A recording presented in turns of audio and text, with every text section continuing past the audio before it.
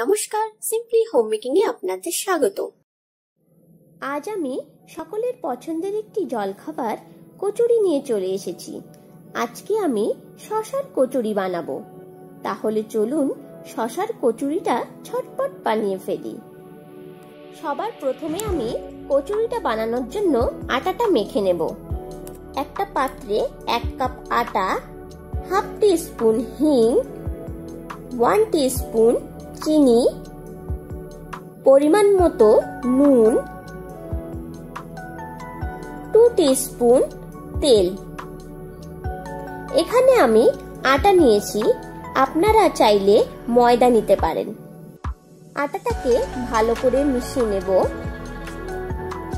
এবারেতে অল্প অল্প জল দিয়ে মেখে একটা মন্ড তৈরি করে নেব। আটাটাকে খুব নরম বা খুব শক্ত করে মাখবো না। মাঝামাঝি এরকম একটা ডো তৈরি করে নেব।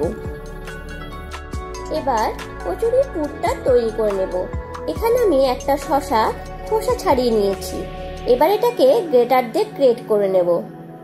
আগে থেকে একটা শশা গ্রেট করে রেখেছিলাম। মোট এখানে দুটো শশা নিয়েছি। এবার গ্রেট করে রাখা শশাগুলোকে ভালো করে নিংড়ে সমস্ত রস বের করে দেব। এই শশার রসটাকে ফেলে দেব না।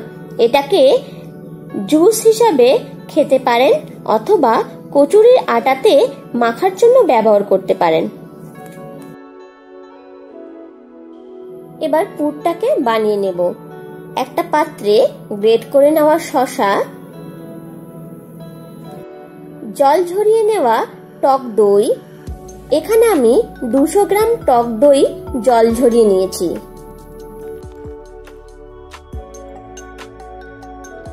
হাফ স্পুন বিট নুন,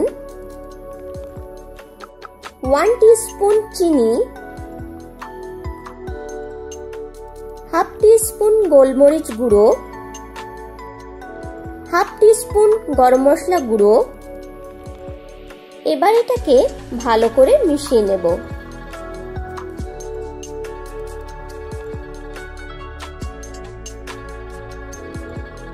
এবার এতে ধনে পাতা কুচিটা দিয়ে আবারও ভালো করে মিশিয়ে নেব।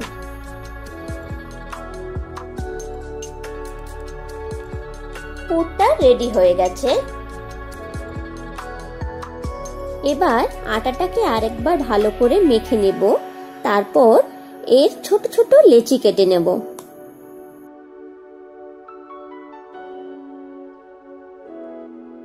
আমার সব লেচিগুলো কাটা হয়ে গেছে।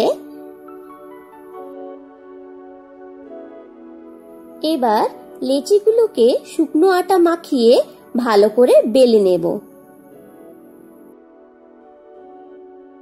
লুচিগুলোকে বেশ পাতলা করে বেলে নেব, নইলে ভাজার সময় ভেতরে কাঁচা থেকে যেতে পারে।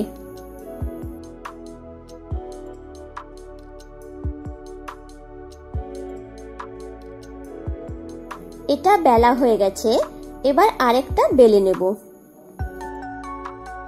প্রত্যেকটা কচুরিতে এক থেকে দেড় চামচ পুর দিয়ে সমানভাবে চারদিকে ছড়িয়ে দেব, আর সাইডে এক আঙুল করে গ্যাপ রাখব।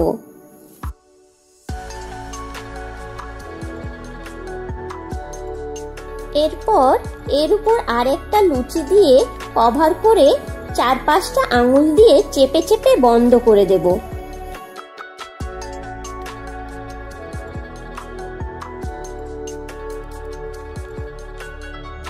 তারপর হাতের উপর নিয়ে এইভাবে মুড়িয়ে দেব, নইলে ভাজার সময় পুরটা বাইরে বেড়ে যেতে পারে।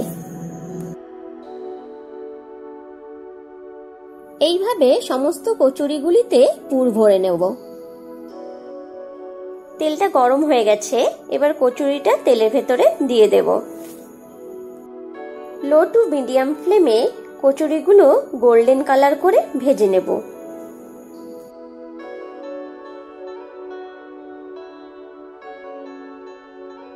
শশার কচুরিগুলো খাওয়ার জন্য একদম রেডি হয়ে গেছে। এই কচুরিটা আপনারা আলুর দম বা চানা মশলার সাথে খেতে পারেন। আমার এই রেসিপিটাকে যদি আপনাদের ভালো লেগে থাকে, তাহলে লাইক শেয়ার কমেন্ট করবেন, আর আমার এই চ্যানেলটিকে অবশ্যই সাবস্ক্রাইব করে দেবেন।